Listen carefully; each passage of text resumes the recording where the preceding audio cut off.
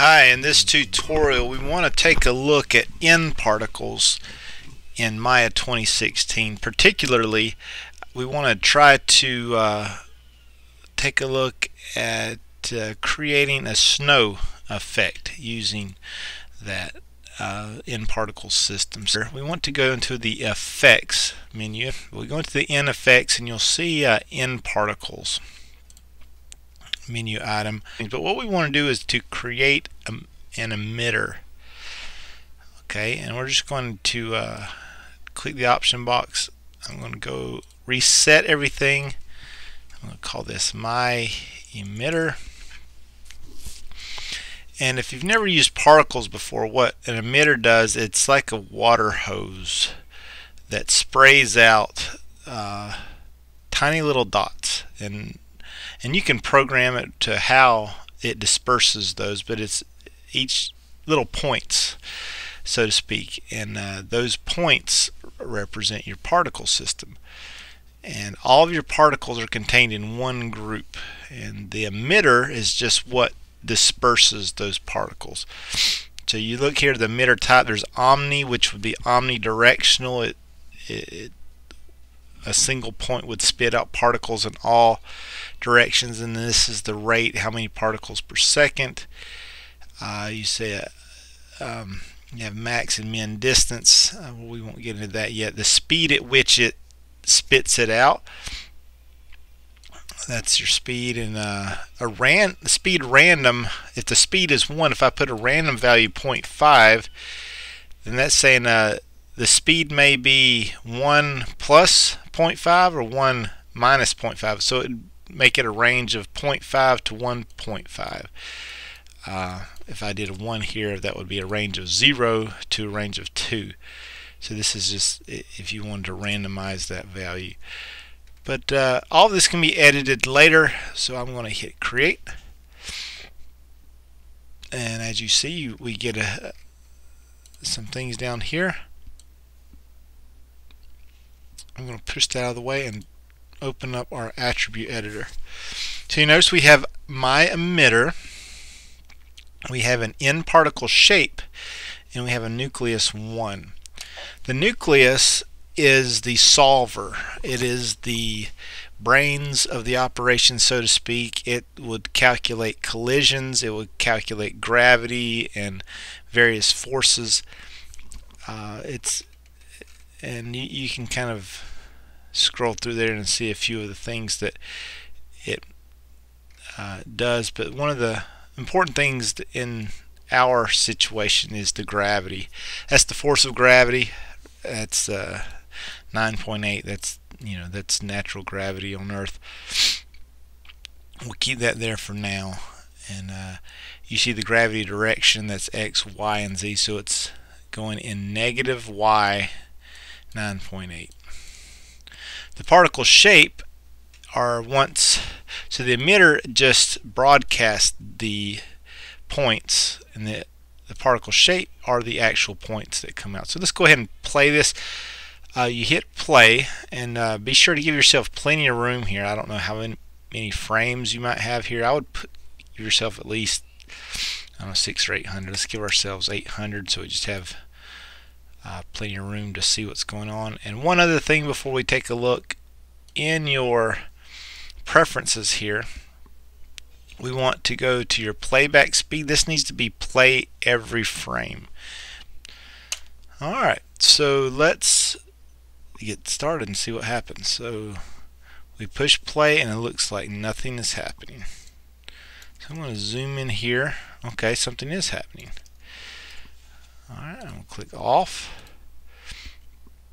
So you have that point. That point is the emitter, and it's broadcasting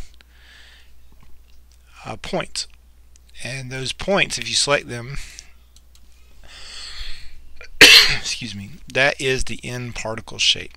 So how would you begin adjusting that? So that looks novel, but that does not look like snow. So in in this tutorial, the idea would be to to make this begin to look something like snow. So first of all, let's take a look at my, the emitter. Instead of an omnidirectional, it's uh, let's do a directional. That's where the particles just go in a single direction. Now I want them to go up. I know snow comes down, but gravity is going to influence that. So I want it to go up, and then the gravity will grab it and pull it back down. So I want to go uh, in my emitter. I did directional, and we can take this particles per second for now. We, will take that down to 20. So now you kind of see what's happening. You say, well, why is it going in that direction? Well, we'll come down here and we see that uh, that's the X direction.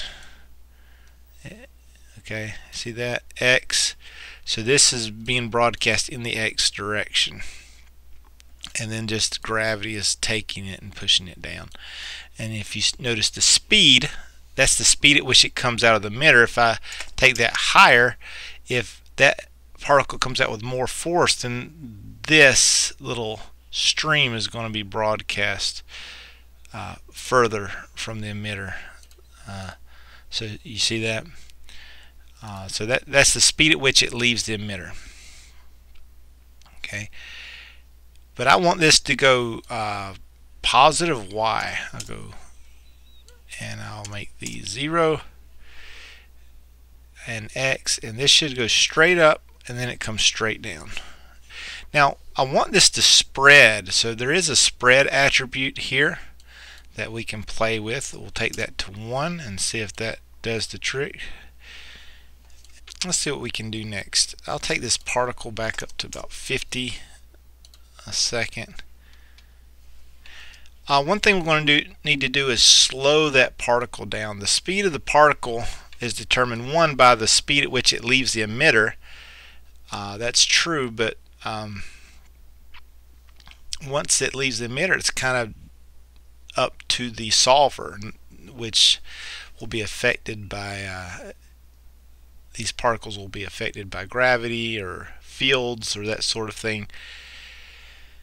And each particle will respond to those fields depending on its mass and a few other attributes. So let's take a look at those in the particle shape.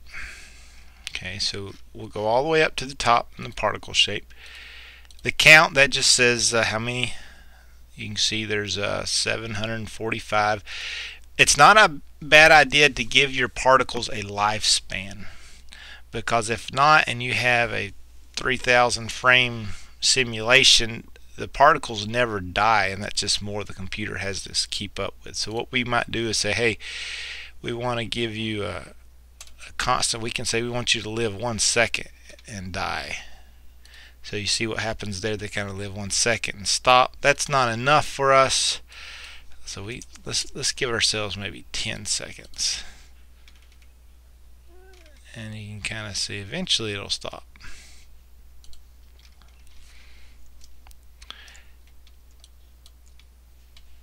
Uh, another thing you can do here is random range, and I can say 10, and this is kind of a plus or minus, like I explained before.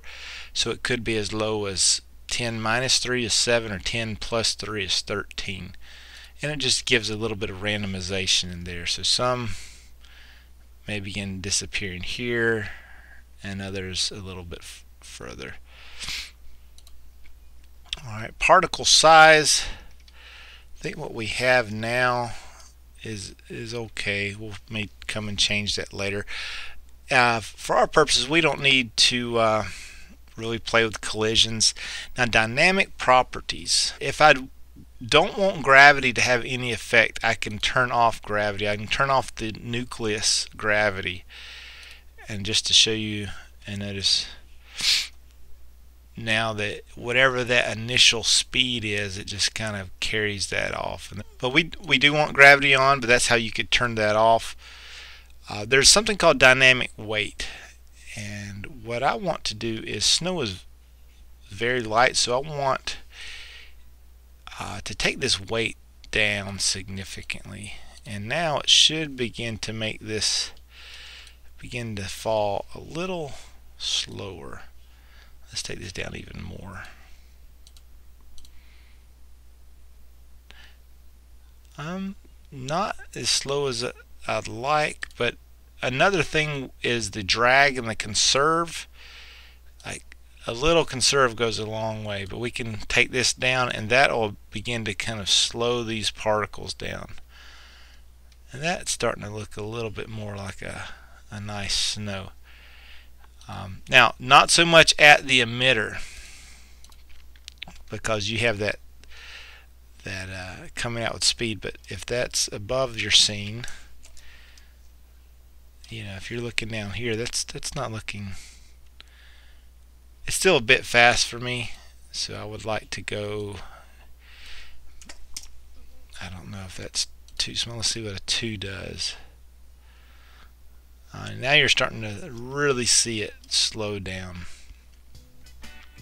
So we'll go somewhere in between that